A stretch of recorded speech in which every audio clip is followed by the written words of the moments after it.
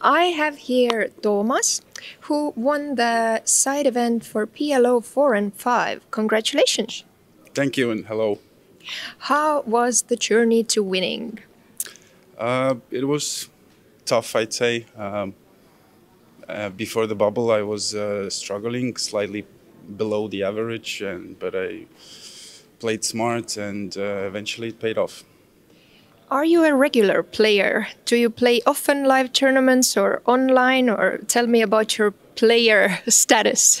I'd say I'm uh, more of a hobby player. I, I, used to play online, but I don't anymore. I, I like to play live, and uh, uh, the usual tournaments that are take place here in Olympic are a bit uh, boring. So uh, it's it's good that we have these festivals coming to Estonia, so our Estonian local players can uh, take part in them.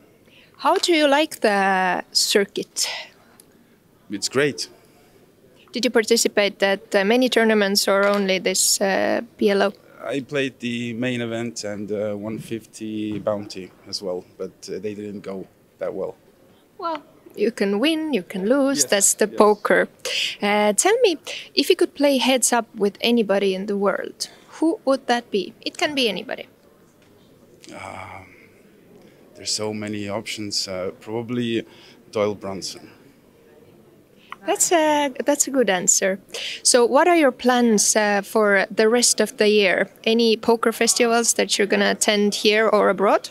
Uh, I don't think so. No, I, I have some plans. I have uh, another kid coming up in family, so I have other things to do. But uh, when Kings of Tallinn is coming, or maybe next year in uh, Malta or Bratislava.